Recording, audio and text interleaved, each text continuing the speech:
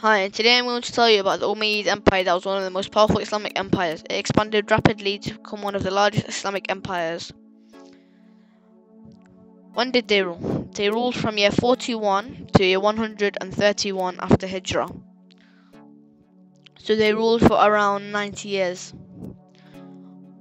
What lands did they rule? At its peak, the Umayyad Empire had a population of around 62 million, which was 30% of the world's population.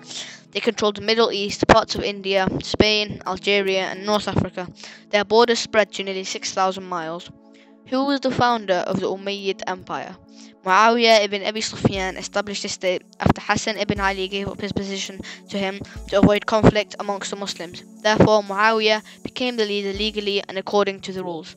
He had been governor of Damascus under the leadership of Abu Bakr and Umar, so when he became the leader, he moved the capital to Damascus. He was known to be one of the greatest leaders of all Umayyad leaders. He has a lot of experience in administration and politics. He was just and liked by everyone. He loved fighting for Allah. He was a scholar and related many hadiths, some of which in Bukhari and Muslim. The contributions of the Umayyads. The Umayyads made several important contributions to the Islamic Empire. They expanded the empire through dedicating a large part of the income on military, giving salaries to soldiers and their families. They established towns on all of the fighting fronts and encouraged people to move there.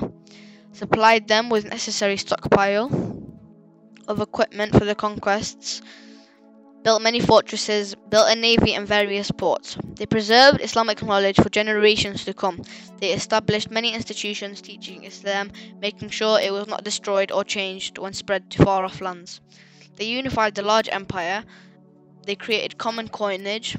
They spoke different languages in all of the countries they ruled, and Arabic became the official language. All of the local languages were replaced by Arabic. They standardized weight measures. They brought back the revival of sciences and literature. They advanced in industry and manufacture.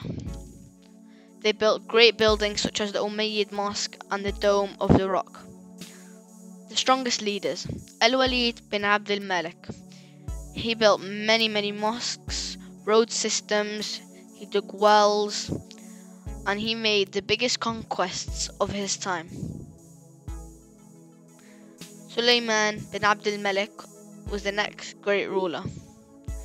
He had a lot of taqwa, which means he was God fearing. He carried on the good work of his brother Al Walid.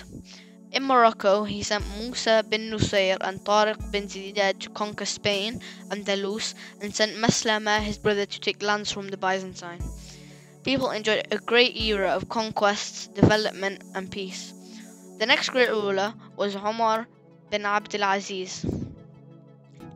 He was a great ruler of the Umayyad Empire. He was known to be pious and just. We will cover him in another video in more detail.